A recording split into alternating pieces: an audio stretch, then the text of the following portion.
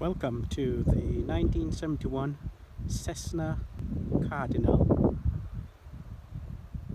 R. No, it's actually an F because it's a Reims 177 RG. RG for retractable gear. And we're just going to do a quick interior tour. 200 horsepower, variable pitch propeller, retractable landing gear. That's the landing gear here, rear landing gear. And that folds up into the wheel well, which is just underneath here. So yeah, beautiful aircraft. Nice sleek lines. Pretty small tyres though, hence why it needs to be landed with a bit of finesse. That's just a bit of comparison so yeah. And lovely three bladed prop. So yeah let's have a quick look inside.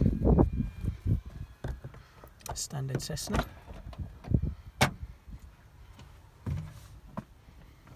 And that's the panel.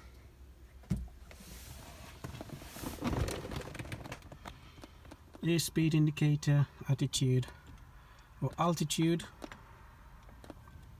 rate of climb, heading, and the uh, DI, not DI, sorry, turn coordinator, which incorporates the autopilot. Yes, autopilot. Standard Cessna control yokes with a thingy made at uh, one of those stopwatches made in the USSR. You got it right, folks. So yeah, manifold pressure, fuel flow, proper RPM standard radios. That's radio. That's our uh, DMI I think. That's our transponder. Flaps intercom exhaust gas temperature and the all important landing gear switch. Yep. Throttle we control our propeller with this one. And that's our mixture. Bit few other bibs and bobs classic 1970s 80s windy side windows. This this bit opens. I don't know if you're old enough to remember when cars had these but yeah. Nice classic aircraft classic Cessna rudder pedals. Cowl flaps okay yeah. These also have cowl flaps. A little bit more air into the engine. We close them right in cruise and of course we got a trim and we got rudder trim. Not flown an aircraft with rudder trim before. So yeah and yeah or landing gear lights. That's for the pilot. For the co-pilot we've got standard leather seats. They are soft and nice. I mean obviously they're old but they are soft and nice.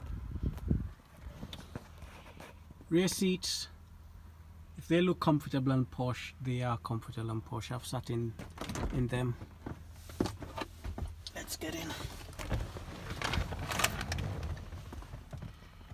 and that's how it is from the rear.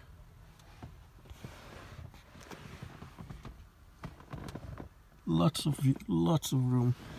Lots of room. Back of the seats. That, I think that one's in pilot power will adjust the seat when I'm flying. So yeah. So lots of room. And yep. Oh airliner style vents bit different from the classic Cessnas so yeah that's the interior for Cessna 177 oh that's the baggage compartment and of course classic Cessna rear window. That's all for now folks